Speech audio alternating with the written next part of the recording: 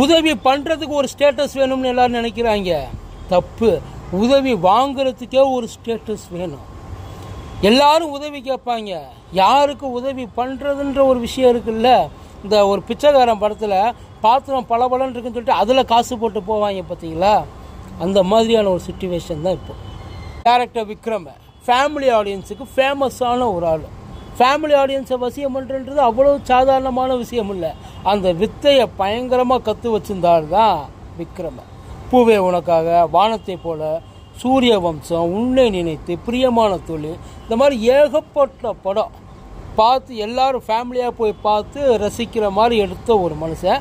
அந்த மனுஷன் இப்போ ரீசெண்ட் டைம்ஸில் ஆள் எங்கே இருக்கான்னே தெரியல. கிட்டத்தட்ட விக்ரமனை சுத்தமாக எல்லாரும் மறந்துட்டோம்னு வைங்களேன் அது ஏன் அப்படின்னா அவங்களோட ஒய்ஃப் இருக்காங்கல்ல ஜெயப்ரியா அவங்க வந்து ஒரு டான்ஸர் அவங்களா ஏகப்பட்ட ஸ்டேஜ் பர்ஃபார்மன்ஸ்லாம் பண்ணியிருக்காங்க. அவங்க வந்து இப்போ ஒரு நா ஆறு வருஷத்துக்கு முன்னாடி ஏதோ ஒரு பெயின் அப்படின்றதுக்காக ஆஸ்பத்திரி போயிருக்காங்க. போனதுக்கப்புறம் தான் தெரிஞ்சிருக்கு அவங்களுக்கு முதுகில் கேன்சரு அந்த கேன்சருக்கு வந்து ஆப்ரேட் பண்ணோம் அப்படின்னோன்னா ஆப்ரேட் பண்ணியிருக்காங்க. ஆப்ரேட் பண்ணதுக்கப்புறம் அவங்களால எந்திரிக்க முடியலை. காரணம் ஆப்ரேஷன் தப்பாக போச்சு. நல்லா தெரிஞ்சுங்க ஆப்ரேஷன் தப்பாக போச்சு. அவங்களால எழு எழுந்திருக்க முடியல நடக்க முடியல படுத்த படுக்கவே அஞ்சு வருஷம் இருந்திருக்காங்க. விக்ரம் ஒன்று அதுக்கு வைத்தியத்தை எவ்வளோ பார்க்க முடியுமோ பார்த்துருக்காரு சொத்தையெல்லாம் விற்று பார்த்துருக்காரு.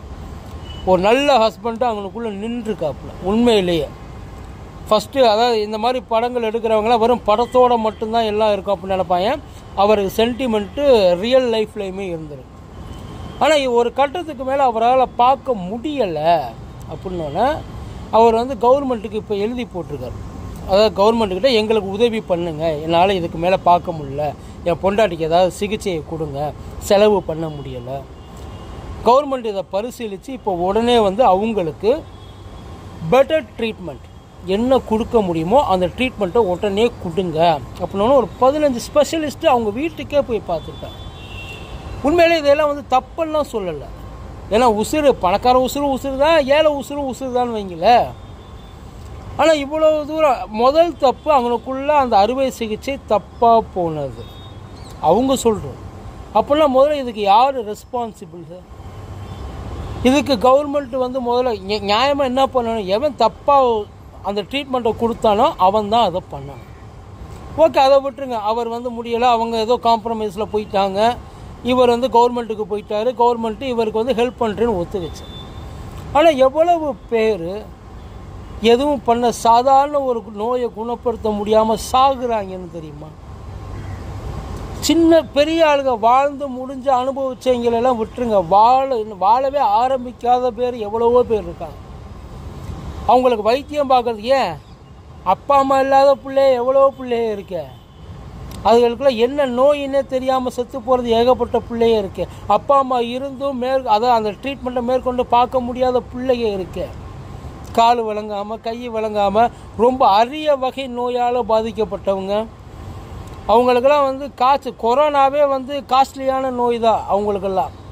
ஆனால் அவங்க அவங்களுக்கு அந்த குழந்தைங்க இந்த கண் வீங்க காதுவீங்க எவ்வளவோ பார்க்குறோம். காலெல்லாம் வந்து ஊனமாக போய் ஐயா சொல்ல முடியாத நோய்கள் எவ்வளவோ இருக்குது அவங்க அதை எடுத்து கொண்டு போய் வைக்கிற தூரத்தில் யாருமே இல்லை. இவங்களுக்கு நீங்கள் ஏன் பண்ணீங்கன்னு கேட்கல எல்லாருக்குமே முடியாத சுச்சுவேஷன் ஒன்று வரும்.